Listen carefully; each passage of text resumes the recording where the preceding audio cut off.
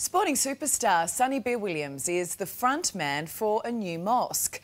The only issue, local residents don't want it, and an almighty feud has broken out.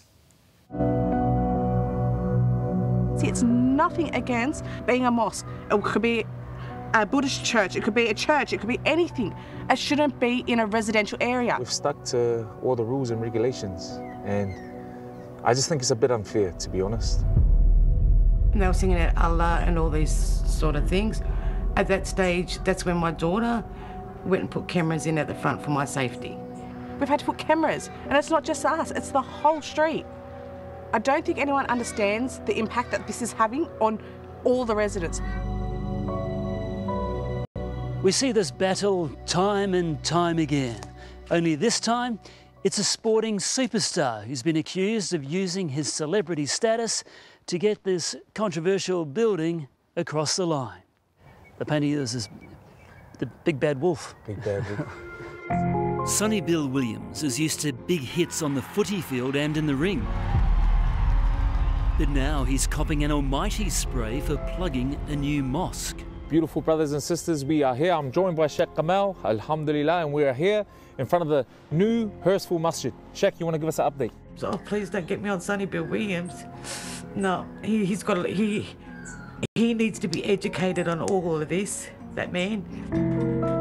Mosque neighbours are smashing the former football player for supposedly spreading fake news. To begin with, blatant lies. Now, Sonny Bill Williams is hitting back.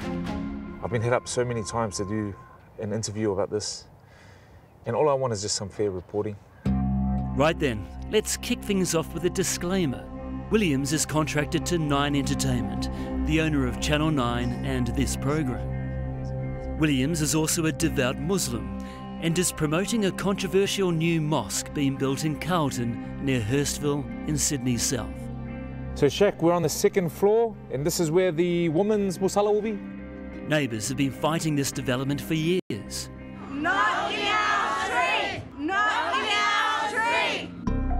After a lengthy battle in the New South Wales Land and Environment Court, the mosque was given the go ahead to be built on the site of an old retirement home. What's the difference to having a mosque here than a retirement village? The retirement village didn't get many people going in constantly.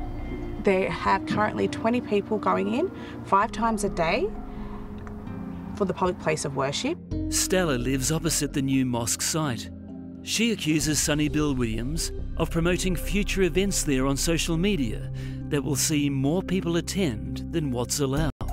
Wedding services, there'll be funeral services, like, you know, a hub. I would never have thought that Sonny Bill Williams would be doing that either. False advertisement in a residential area. Williams makes no apology. Uh, me, I guess, being, um, I guess, loud on social media, for example, about the places, because I'm proud. I'm proud, brother. That's it. Um, there's masjids all around Sydney. So me saying that this place is open for worship, inshallah soon, you know, not all the Muslims in Sydney are going to come here. Stella's mum, Roslyn, is dreading the potential increase in traffic. Yeah, I might be working afternoon shift or night shift or morning shift. You know, I've got to block all this out now. How am I going to block the noise out? How am I going to get my sleep? Where's, what about us? We're the ratepayers. I understand their concerns, but we've we've done our utmost. We've done our due diligence. We've knocked out knocked down pretty much half the potential masjid um, to facilitate or to cater for more car parks spaces. I don't know about what more we can do, man. This fight's also been dogged by allegations of intimidation, which Rosalind claims has left her scared to sit on her front porch. Well, I've got to hide in my backyard all the time, hide in my house. Why should I have to do that? I don't think it's right. I'm sorry. I'm sorry. I can't control everything. Williams might not be able to control everything, but he is calling for common sense from anyone going rogue.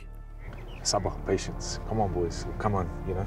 Um, people of this community, you know, if we want to, for us as Muslims, we want to um, have this place as a bit of a hub for our kids, our kids' kids, to learn about our beautiful religion, in, in, in, in making that possible, we have to form relationships with those around us. I can't blame Sonny Bill Williams for people abusing my mother. If he can stop the harassment, we might not get somewhere, but we will still see how it goes. So whose fault is this? Councils. I mean, it's councils all the way. Front of mind for Williams right now is getting the mosque built. The Roosters jersey that I played in in 2013 when we won the competition.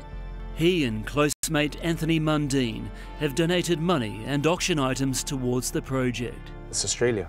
Alhamdulillah, thank God. It's a, you know, everyone's, everyone is free to worship what they want to worship and, and practice that worship. So that's all we're doing.